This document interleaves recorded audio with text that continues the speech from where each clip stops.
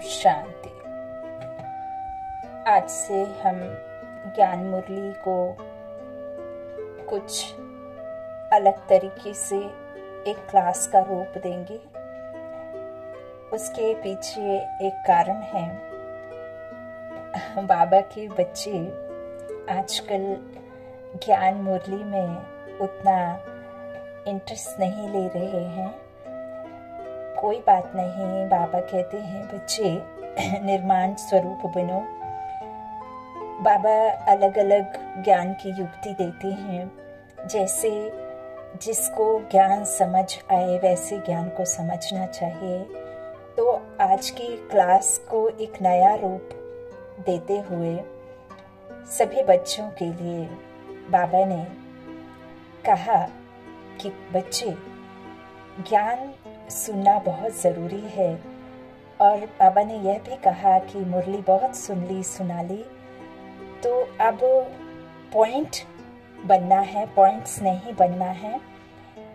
बिंदु को याद करना है, बिंदु बनकर याद करना है और ड्रामा को भी बिंदु समझना है।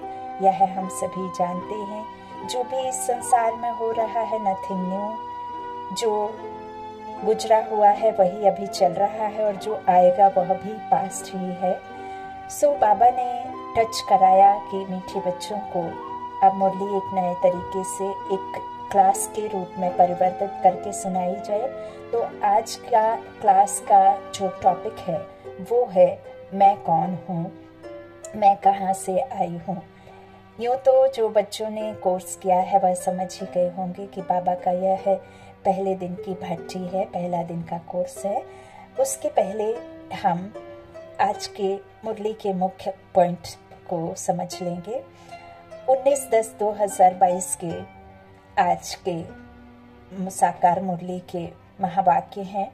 बाबा ने कहा, मीठे बच्चे बाप आए हैं, तुम्हें सब घुटकों से छुड़ाने। तुम अभी इस शोक वाटिका से अशोक वाटिका में चलते हो। इस विषय वैतरणी नदी से पार जाते हो। प्रश्न है मुरली का याद में बैठते समय किस बात का विघ्न नहीं पड़ता और किस बात का विघ्न पड़ता है?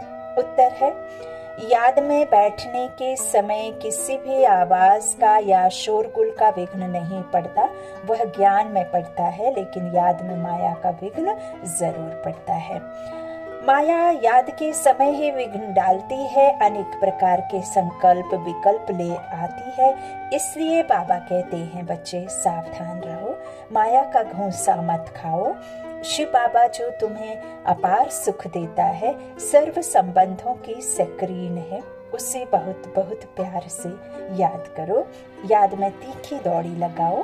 गीत है, रात की राही, थक मत जाना। आज हंसे कल, रुला न जाना। तुम हो पतित पावन गॉड फादर के स्टूडेंट तो यह पाठशाला है। पाठशाला में पढ़ाई होती है, मेहनत करनी पड़ती है, और उन सत्संगों में मेहनत नहीं है। वहाँ तो गीता सुनी, ग्रंथ सुना और घर गया। वहाँ कोई थोड़े ही कहता है कि पवित्र बनो। इस संसार में किसी के पास भी आप गए, आज तक किसी ने पवित्र बनने का पाठ पढ़ाया और कहा कि तुम आत्मा हो, किसी के पास नॉलेज है ही नहीं। अब जो पवित्र है, वही पवित्र बनाएगा और वही पवित्रता का पाठ पढ़ा सकता है और वही पवित्र दुनिया का मालिक बना सकता है। तो वह तो है ही एक पवित्रता का सागर। तो वही आएगा, तभी हमें पवित्र बनाने का पाठ पढ़ाएगा। तो बाबा कहते हैं, पवित्र बनो, यात्रा करो, आगे चलिए, सब जिस्मानी यात्राएँ आदि बंद हो जाएँगी। जो भी हम देख रहे हैं ना, ये भक्ति की सामग्री या तो उधर जाती नहीं है तो यहाँ ही उसको खत्म भी होना पड़ेगा ना तो यह सब धीरे धीरे बंद हो जाएँगी। अभी आपने देखा ही होगा, कोरोना में पूरी दुनिया के सब जो भी तीर्थ स्थल थे, सभी बंद थे इवन मंदिर अंदिर सब बंद कर दिए थे तो अभी तो वो एक ट्रेलर था, है ना? तो यह कोई बाबा हमें ऐसा नहीं है कि डराते हैं, बाबा तो हमें सत्य बताते हैं, अब आप उसे माने या ना माने, है ना? जो हो रहा है, वो तो देख ही रहे हैं तो बर्फ़ पड़ी, व एक्सीडेंट हुआ तो कोई जाएँगे नहीं, अब केदारनाथ में भी देखिए कैसे कैसे सीन आपने देखे ही होंगे न्यूज़ में, जो गए हैं तो उन्होंने साक्षात देखे होंगे। तो बाबा कहते हैं इस तरह से तो क्योंकि तुम्हारी यात्रा ज़ोर होती जाएगी ना? ऐसे सब आएगा तो कोई जाएँगे नहीं। हमारी यात्रा है शिवालय तरफ़ और शिवालय के लिए तो आपको कोई जिस्मानी सफ़र करने की आवश्यकता नहीं। पहले शिव की पूरी शिवालय में जाएँगे, फिर शिव की स्थापन की हुई पूरी शिवालय। शिव की स्थापना कौन सी हुई? पूरी शिवालय, स्वर्ग में जाएँगे। बाबा ने आज शिव की स्थापन की पूरी को कहा है, शिवालय, स्वर्ग। शिवपुरी और विष्णुपुरी दोनों को शिवालय कहेंगे क्योंकि शिव के द्वारा स्थापन किया हुआ और विष्णु के द्वारा पालना चलेगा। तो इसीलिए उसे शिवालय और विष्णुपुरी और दोनों को शिवालय कहेंगे। शिवपुरी को और विष्णुपुरी को। क्योंकि मुक्ति, जीवन मुक्ति दोनों शिव बाबा ही देते हैं। मुक्ति भी बाबा देते हैं और जीवन मुक्ति भी शिव बाबा देते हैं। तो सतयुगी देवी घराना शिव बाबा स्थापन करते हैं। अच्छा याद में आवाज़ का विघ्न पड़ नहीं सकता, ज्ञान सुनने में शोर का विघ्न पड़ेगा। मनुष्य तो कहते हैं, शांति करो, नहीं तो याद में विघ्न पड़ेगा, परंतु योग में आवाज़ विघ्न नहीं डालता। यह तो आप समझ ही गए हैं कि याद में कोई किसी तरह का रोड़ा आपके मुश्किल नहीं डाल सकता।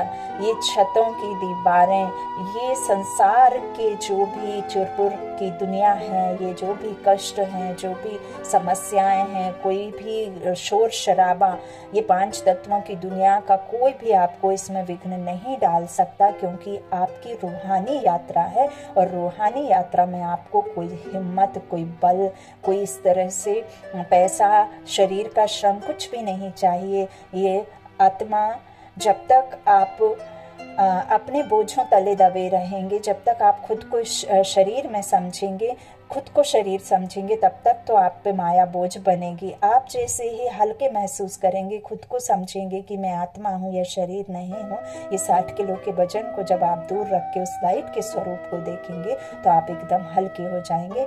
आत्मा माना हल्का, लाइट लाइट माना होता ही है हल्का।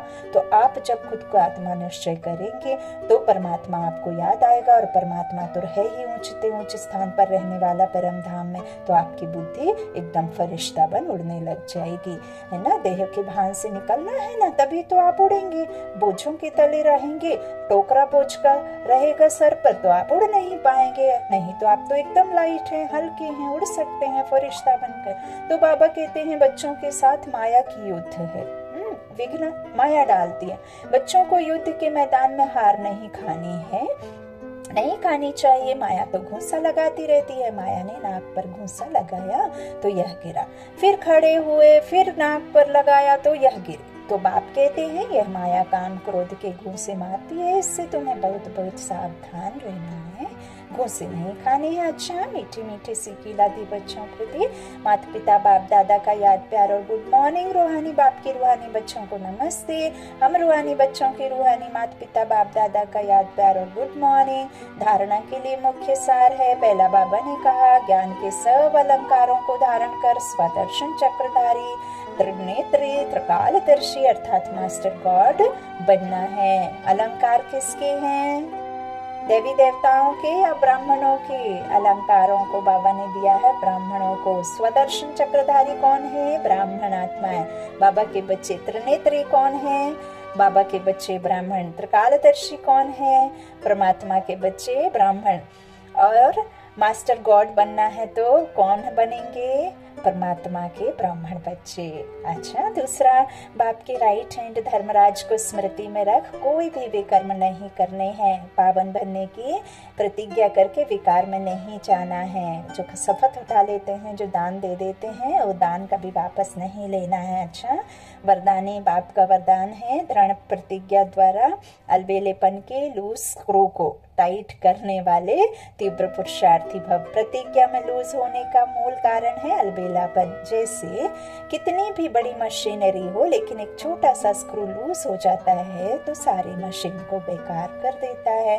वैसे प्रतिज्ञा को पूरा करने के लिए प्लान बहुत अच्छे बनाते हो, पुरुषार्थ भी करते हो, लेकिन पुरुषार्थ व प्लान को कमज़ोर, प्लेन कमज़ोर हो जाते हैं। करने का स्क्रू एक ही है, अलबेलापन, है ना? झगमई झुरमई में लग जाना। वह नए नए रूप में आता है, सिलूट स्क्रू को टाइट करो। मुझे पाप समान बनना ही है। इसी तरह संकल्प से तीव्र पुरुषार्थी बन जाएँगे। और बाबा ने देखिए, यदि आप कभी माया में आते भी हैं तो बाबा ने कितने सारे बताए हैं कि आप अमृत वेला अपने आप को तो भरो ही शक्तियों से और वो शक्तियों का पूरे दिन इस्तेमाल करो ना सुबह जैसे आप जो श्रेष्ठ संकल्पों के साथ में उठेंगे, जैसे शुरुआत करेंगे, शुभ संकल्पों का भोजन करेंगे तो आत्मा को बल मिलेगा। आत्मा को बल मिलेगा तो पूरे समय वह आत्मा उसी बल के हिसाब से चलती रहेगी।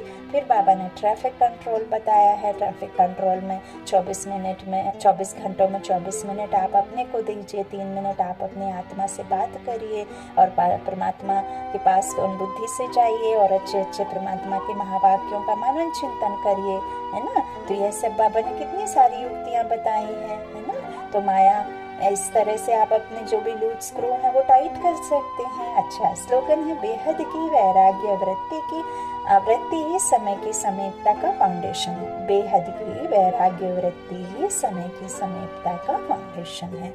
आज मातेश्वरी जी के अनमोल महावाक्य हैं। अभी तो यह सारी दुनिया जानती है कि परमात्मा एक है। उसी परमात्मा को कोई शक्ति मानते हैं, कोई कुदरत कहते हैं मतलब तो कोई ना कोई रूप में ज़रूर मानते हैं। कोई दुख में याद करते हैं, कोई हमेशा याद करते, कोई सुख में याद करते हैं, कोई बहुत अधिक बिगड़ जाता है, तब याद करते हैं, कोई कोई फिर बिल्कुल भी नहीं मानते हैं, है ना? मातेश्वरी जी के अनमोल महावाक्य।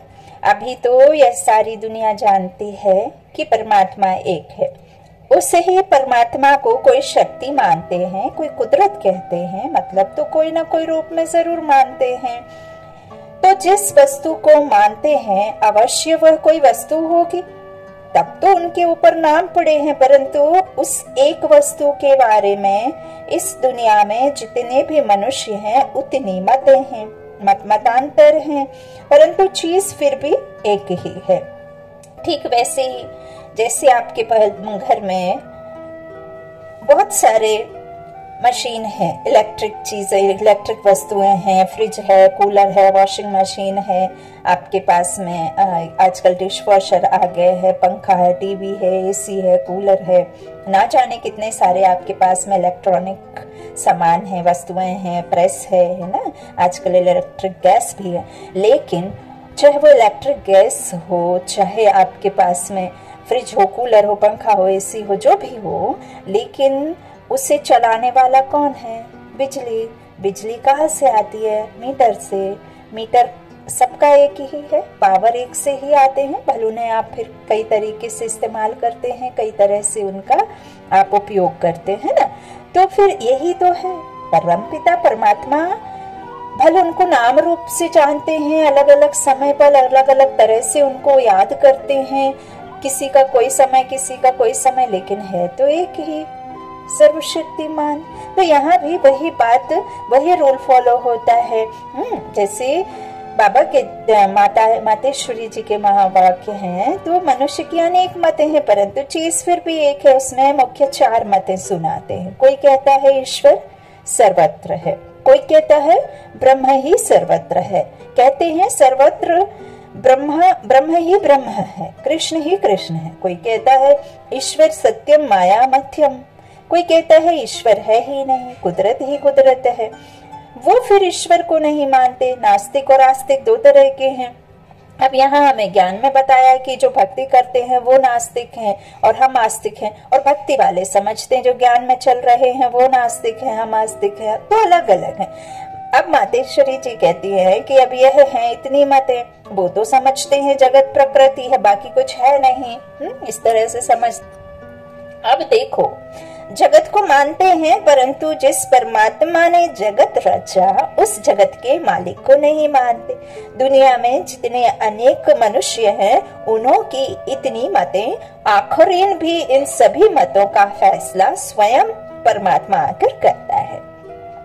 इस सारे जगत का निर्णय परमात्मा आकर करता है, अथवा जो सर्वोत्तम, सर्व शक्तिवान होगा, वही अपनी रचना का निर्णय विस्तार पूर्वक समझाएगा, वही हमें रचता का परिचय देते हैं। कौन देते हैं परिचय आकर? जो रचता बाप है, वही रचना का परिचय देंगे। अपने बाल बच्चों का सही रीति, खानदान का जो भी बताएँगे, वो कौन बताएगा? जो रचता होगा, वही तो बताएगा। तो रचता का भी परिचय वही देते हैं, खुद का भी और हम सब का भी, और फिर अपनी रचना का भी परिचय देते हैं। कई मनुष्य ऐसे प्रश्न पूछते हैं, हमको क्या सावती है कि हम आत्मा है? अब इस पर समझाया जाता है। जब हम कहते हैं, अहम आत्मा, उस परमात्मा की संतान है। अब यह है अपने आप से पूछने की बात। हम जो सारा दिन में मैं कहता रहता हूँ, वो कौन सी पावर है? और फिर जिसको हम याद करते हैं, वो हमारा कौन है? जब कोई को याद किया जाता है तो ज़रूर हम आत्माओं को उन्हों द्वारा कुछ चाहिए। हर समय उनकी याद रहने से ही हमको उस द्वारा प्राप्ति होगी। देखो। मनुष्य जो कुछ करता है, ज़रूर मन में कोई ना कोई शुभ इच्छा अवश्य रहती है। कोई भी सुख की, कोई को शांति की इच्छा तो कोई ज़रूर सब इच्छा उत्पन्न होती है। किसी को अपनी बिगड़ी बनाने के लिए याद करना होता है। कोई शुभ कर्म करते हैं, शुभ कार्य घर में होता है, तब परमात्मा का बड़ा भारी पूजा रखते तो इस तरह से अवश्य कोई लेने वाला है, और जिस द्वारा वो इच्छा पूर्ण होती है, वो अवश्य कोई देने वाला ज़रूर है। तभी तो उनको याद किया जाता है। अब इस राज को पूर्ण रीति से समझना है, वह कौन है? यह बोलने वाली शक्ति मैं स्वयं आत्मा हूँ, जिसका आकार ज्योति बिंदु मिसल है। जब मनुष्य स्थूल शरीर छूटता है तो वो निकल जाती है, भली आँखों से नहीं दिखाई पड़ती है। अब इससे सिद्ध है कि उसका स्थूल आकार नहीं है। परंतु मनुष्य महसूस अवश्य करते हैं कि आत्मा निकल गई। तो हम उसको आत्मा ही कहेंगे, जो आत्मा ज्योति स्वरूप है तो अवश्य उस आत्मा को पैदा करने वाला परमात्मा भी उसके ही रूप मुआफिक होगा। जो जैसा होगा, उनकी पैदाइश भी वैसी होगी। फिर हम आत्माएँ उस परमात्मा को क्यों कहते हैं कि वो हम सर्वात्माओं से परम हैं? क्योंकि उनके ऊपर कोई भी माया का लेप छेप नहीं है। वो सदगति दुर्गति में आते ही नहीं। जो सदगति दुर्गति में नहीं आएगा तो वो कैसा होगा? उसकी आत्मा में लेप छेप लगेगा ही नहीं। जो दुख सुख में नहीं आते, बाकी हम आत्माओं के ऊपर माया का लेप छेप अवश्य लगता है, क्योंकि हम जन्म मरण के चक्र में आती हैं। अब यह है आत्मा और परमात्मा में फ़र्क। अच्छा ओम शांति। अब हम समझेंगे आज के क्लास में मैं मैं कहने वाली मैं कौन हूँ? थोड़ा विस्तार से जानेंगे और यह परमात्मा के क्लास का सबसे पहला अध्याय है तो आज हम इस क्लास में मैं कौन हूँ को जानेंगे। मातेश्वरी जी के अनमोल महावाक्य, अभी तो यह सारी दुनिया जानती है कि परमात्मा एक है। उसे ही परमात्मा को कोई शक्ति मानते हैं, कोई कुदरत कहते हैं मतलब तो कोई ना कोई रूप में ज़रूर मानते हैं। तो जिस वस्तु को मानते हैं, अवश्य वह कोई वस्तु होगी।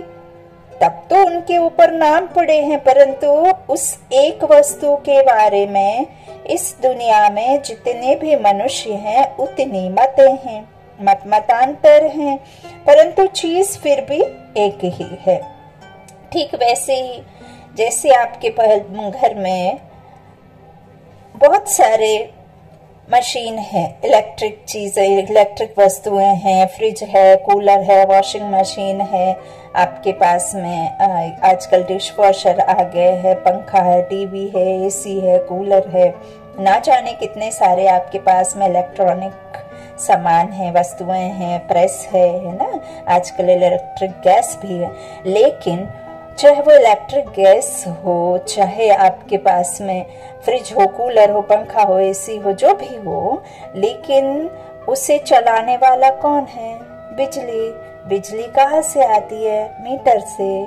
मीटर सबका एक ही है पावर एक से ही आते हैं। भले उन्हें आप फिर कई तरीके से इस्तेमाल करते हैं, कई तरह से उनका आप उपयोग करते हैं ना? तो फिर यही तो है। परम पिता परमात्मा भले उनको नाम रूप से जानते हैं अलग अलग समय पर अलग अलग तरह से उनको याद करते हैं। किसी का कोई समय, किसी का कोई समय, लेकिन है तो एक ही सर्वशक्तिमान। तो यहाँ भी वही बात, वही रूल फॉलो होता है। हम्म जैसे बाबा के, माता, मातेश्वरी जी के महावाक्य हैं तो मनुष्य की अनेक मतें हैं, परंतु चीज़ फिर भी एक है, उसमें मुख्य चार मतें सुनाते हैं। कोई कहता है ईश्वर सर्वत्र है। कोई कहता है, ब्रह्म ही सर्वत्र है। कहते हैं, सर्वत्र ब्रह्म ब्रह्म ही ब्रह्म है। कृष्ण ही कृष्ण है। कोई कहता है, ईश्वर सत्यम माया मध्यम। कोई कहता है, ईश्वर है ही नहीं, कुदरत ही कुदरत है। वो फिर ईश्वर को नहीं मानते, नास्तिक और आस्तिक दो तरह के हैं। अब यहाँ हमें ज्ञान में बताया कि जो भक्ति करते हैं वो नास्तिक हैं और हम आस्तिक हैं। और भक्ति वाले समझते हैं जो ज्ञान में चल रहे हैं वो नास्तिक हैं हम आस्तिक हैं तो अलग अलग हैं। अब मातेश्वरी जी कहती है कि अब यह है इतनी मतें। वो तो समझते हैं जगत प्रकृति है बाकी कुछ है नहीं। हम्म, इस तरह से समझ। अब देखो जगत को मानते हैं, परंतु जिस परमात्मा ने जगत रचा, उस जगत के मालिक को नहीं मानते। दुनिया में जितने अनेक मनुष्य हैं, उन्हों की इतनी मतें आखिरीन भी इन सभी मतों का फैसला स्वयं परमात्मा आकर करता है। इस सारे जगत का निर्णय परमात्मा आकर करता है, अथवा जो सर्वोत्तम, सर्व शक्तिवान होगा, वही अपनी रचना का निर्णय विस्तार पूर्वक समझाएगा, वही हमें रचता का परिचय देते हैं। कौन देते हैं परिचय आकर? जो रचता बाप है, वही रचना का परिचय देंगे। अपने बाल बच्चों का सही रीति, खानदान का जो भी बताएँगे, वो कौन बताएगा? जो रचता होगा, वही तो बताएगा। तो रचता का भी परिचय वही देते हैं, खुद का भी और हम सब का भी, और फिर अपनी रचना का भी परिचय देते हैं। कई मनुष्य ऐसे प्रश्न पूछते हैं, हमको क्या सावती है कि हम आत्मा है? अब इस पर समझाया जाता है। जब हम कहते हैं, अहम आत्मा, उस परमात्मा की संतान है। अब यह है अपने आप से पूछने की बात। हम जो सारा दिन में मैं कहता रहता हूँ, वो कौन सी पावर है? और फिर जिसको हम याद करते हैं, वो हमारा कौन है? जब कोई को याद किया जाता है तो ज़रूर हम आत्माओं को उन्हों द्वारा कुछ चाहिए। हर समय उनकी याद रहने से ही हमको उस द्वारा प्राप्ति होगी। देखो, मनुष्य जो कुछ करता है, ज़रूर मन में कोई ना कोई शुभ इच्छा अवश्य रहती है। कोई भी सुख की, कोई को शांति की इच्छा तो कोई ज़रूर सब इच्छा उत्पन्न होती है। किसी को अपनी बिगड़ी बनाने के लिए याद करना होता है। कोई शुभ कर्म करते हैं, शुभ कार्य घर में होता है, तब परमात्मा का बड़ा भारी पूजा रखते तो इस तरह से अवश्य कोई लेने वाला है और जिस द्वारा वो इच्छा पूर्ण होती है, वो अवश्य कोई देने वाला ज़रूर है। तभी तो उनको याद किया जाता है। अब इस राज को पूर्ण रीति से समझना है, वह कौन है यह बोलने वाली शक्ति मैं स्वयं आत्मा हूँ, जिसका आकार ज्योति बिंदु मिसल है। जब मनुष्य स्थूल शरीर छोड़ता है तो वो निकल जाती है, भली आँखों से नहीं दिखाई पड़ती है। अब इससे सिद्ध है कि उसका स्थूल आकार नहीं है। परंतु मनुष्य महसूस अवश्य करते हैं कि आत्मा निकल गई। तो हम उसको आत्मा ही कहेंगे, जो आत्मा ज्योति स्वरूप है तो अवश्य उस आत्मा को पैदा करने वाला परमात्मा भी उसके ही रूप मुआफिक होगा। जो जैसा होगा, उनकी पैदाइश भी वैसी होगी। फिर हम आत्माएँ उस परमात्मा को क्यों कहते हैं कि वो हम सर्वात्माओं से परम हैं? क्योंकि उनके ऊपर कोई भी माया का लेप छेप नहीं है। वो सदगति दुर्गति में आते ही नहीं। जो सदगति दुर्गति में नहीं आएगा तो वो कैसा होगा? उसकी आत्मा में लेप लगेगा ही नहीं। जो दुख सुख में नहीं आते, बाकी हम आत्माओं के ऊपर माया का लेप छेप अवश्य लगता है, क्योंकि हम जन्म मरण के चक्र में आती हैं। अब यह है आत्मा और परमात्मा में फ़र्क। अच्छा ओम शांति। अब हम समझेंगे आज के क्लास में मैं मैं कहने वाली मैं कौन हूँ, थोड़ा विस्तार से जानेंगे और यह परमात्मा के क्लास का सबसे पहला अध्याय है तो आज हम इस क्लास में मैं कौन हूँ को जानेंगे। तो हम आज की क्लास में समझेंगे, जो बाबा आए दिन अपने ज्ञान मुरली के महावाक्यों में लिखा करते हैं कि बच्चों, सात रोज की भट्टी में पक करके फिर कहीं पर भी रहो। दुनिया के किसी भी कोने में जाओ, लेकिन पहले सात रोज की भट्टी में अच्छी तरीके से खुद को पकाओ। हम्म तो आइए हम जानते हैं कि सात रोज की भट्टी क्या है, और उसके सात रोज में जो पहला दिन है, उस दिन कौन सी भट्टी में बाबा हमें पकाना चाहते हैं? तो उम्मीद है आप सभी बाबा के बच्चों को यह आज का क्लास बहुत अच्छा लगेगा और अच्छा लगे तो कमेंट में ज़रूर बताइए ताकि हिम्मत मिले और आपके स्नेह से मैं और भी अच्छे क्लास बना सकूँ। तो सात दिनों के कोर्स का पहला दिन है और उसमें हम जानेंगे कि आज क्या परमात्मा हमसे कहना चाहते हैं।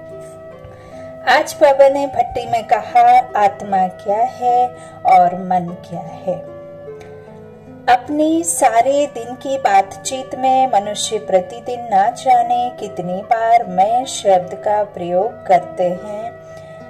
परंतु यह एक आश्चर्य की बात है कि प्रतिदिन मैं और मेरा शब्द का अनेका अनेक बार प्रयोग करने पर भी मनुष्य यथार्थ रूप में यह नहीं जानते कि मैं कहने वाले सत्ता का स्वरूप क्या है। अर्थात, मैं शब्द जिस वस्तु का सूचक है, वह क्या है? आज मनुष्य ने साइंस द्वारा बड़ी बड़ी शक्तिशाली चीज़ों तो बना डाली हैं। उसने संसार के अनेक पहेलियों का उत्तर भी जान लिया है। और वह अनेक जटिल समस्याओं का हल ढूंढ निकलने में, निकालने में भी खूब लगा हुआ है, ना? परंतु मैं कहने वाला कौन है इसके बारे में यह सत्यता को साइंस नहीं जानता, अर्थात वह स्वयं को नहीं पहचानता।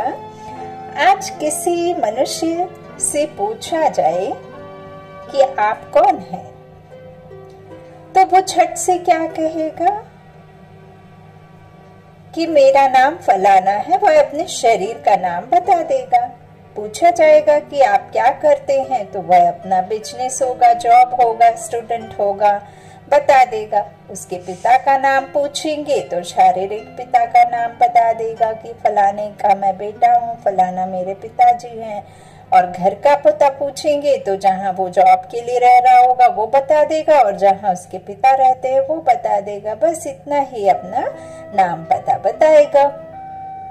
वास्तव में मैं शब्द शरीर से भिन्न चेतन सत्ता आत्मा का सूचक है।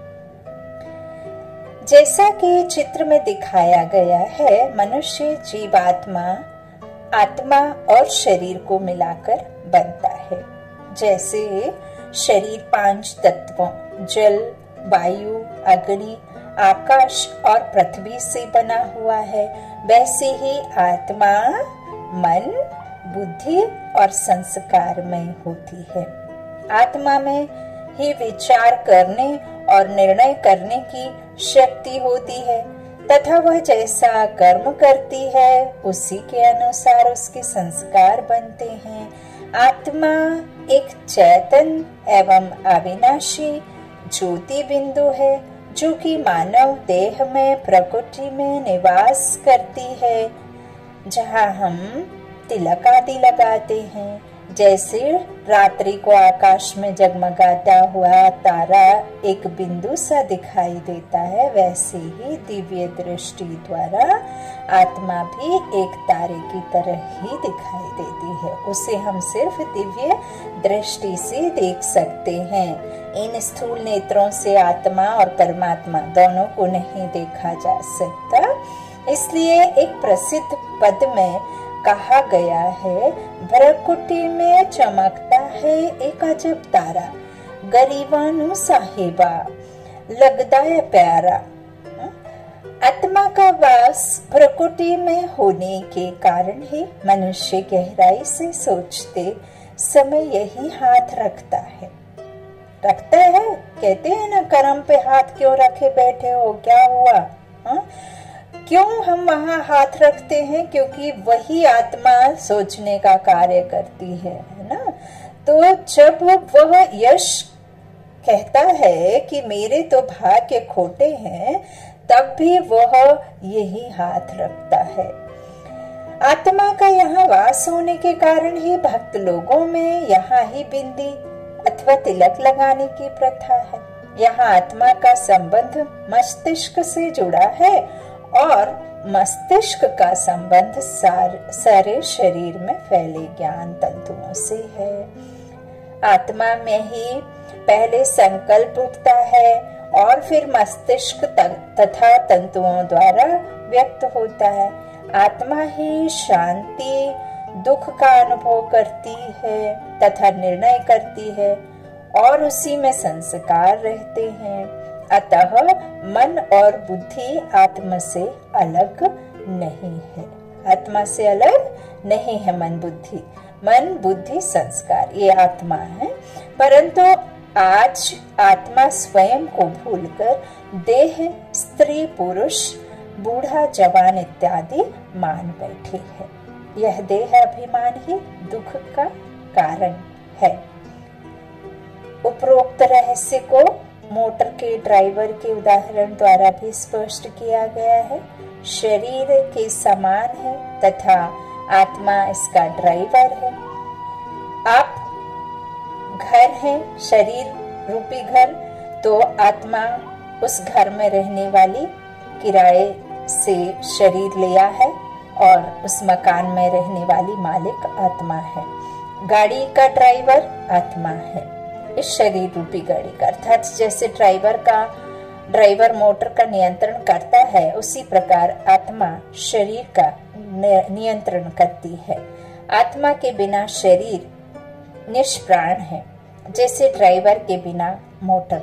अतः परम पिता परमात्मा कहते हैं कि अपने आप को पहचानने से ही मनुष्य शरीर शरीर रूपी मोटर को चला सकता है और अपने लक्ष्य गंतव्य स्थान पर पहुँच सकता है। अन्यथा, जैसे कि ड्राइवर कार चलाने में निपुण ना होने के कारण दुर्घटना, एक्सीडेंट का शिकार बन जाता है और कार उसके यात्रियों को क्या होता है? चोट भी लग जाती है। इसी प्रकार, जिस मनुष्य को अपनी पहचान नहीं है, वह स्वयं तो दुखी और अशांत होता ही है।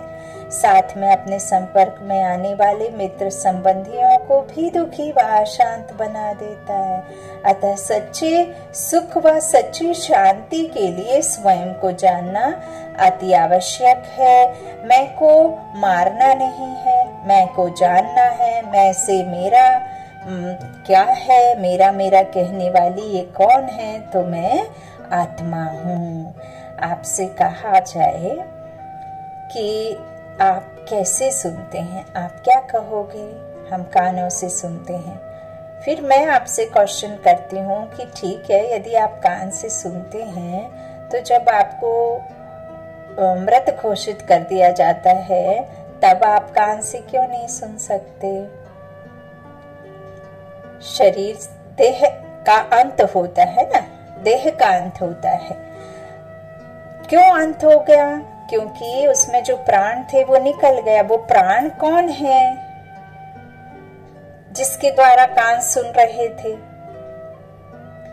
जिसके द्वारा कान सुन रहे थे, वही तो आत्मा थी। आत्मा ने जैसे ही शरीर छोड़ा, कानों ने सुनना बंद कर दिया, आँख ने देखना बंद कर दिया, हाथों ने कर्म करना बंद कर दिया, पैरों ने चलना बंद कर दिया, मुख ने बोलना बंद कर दिया।